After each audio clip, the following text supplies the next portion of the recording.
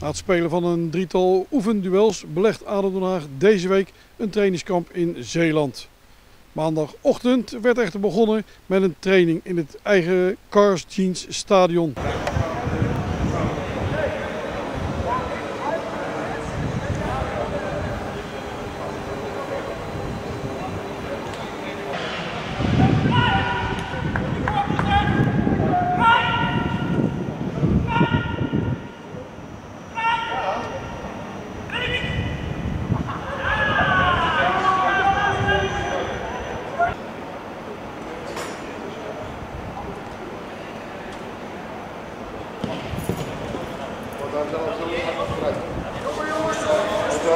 Daarna werd koers gezet naar Zeeland.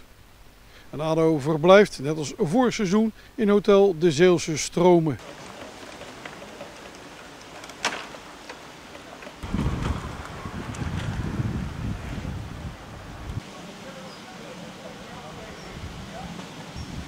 De trainingen worden afgewerkt bij de plaatselijke voetbalvereniging in Renesse.